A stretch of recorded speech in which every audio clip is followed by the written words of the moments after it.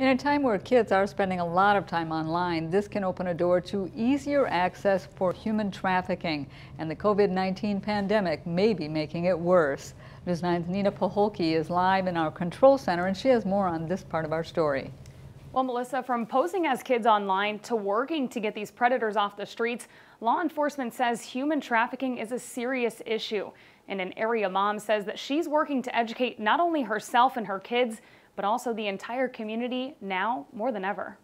It's the fastest growing industry in the world right now, and that's heartbreaking.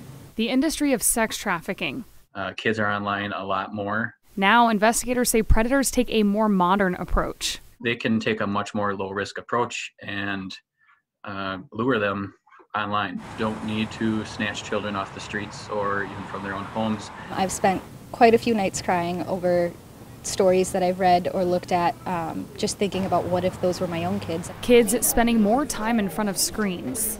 Especially now during the pandemic when internet usage is up 30 to 70%, depending on which platform you look at. They have plenty of success establishing relationships with children online and then luring them to a place that's safe for them where they can uh, do whatever their, their intent is with that child. The Marathon County Sheriff's Department is part of ICAC or Internet Crimes Against Children, a statewide task force. Support and funding from the state to be proactive when it comes to investigations of uh, people targeting children online, especially for sex trafficking or sexual gratification. Sex trafficking, an issue we need to be aware of and make our kids aware of. Talk with your kids, say, hey, we downloaded this app last week how's it been going on there? Does anybody talk inappropriately on there? Role play some scenarios with them. What would you do if somebody made some inappropriate comments or asked you to share your personal information?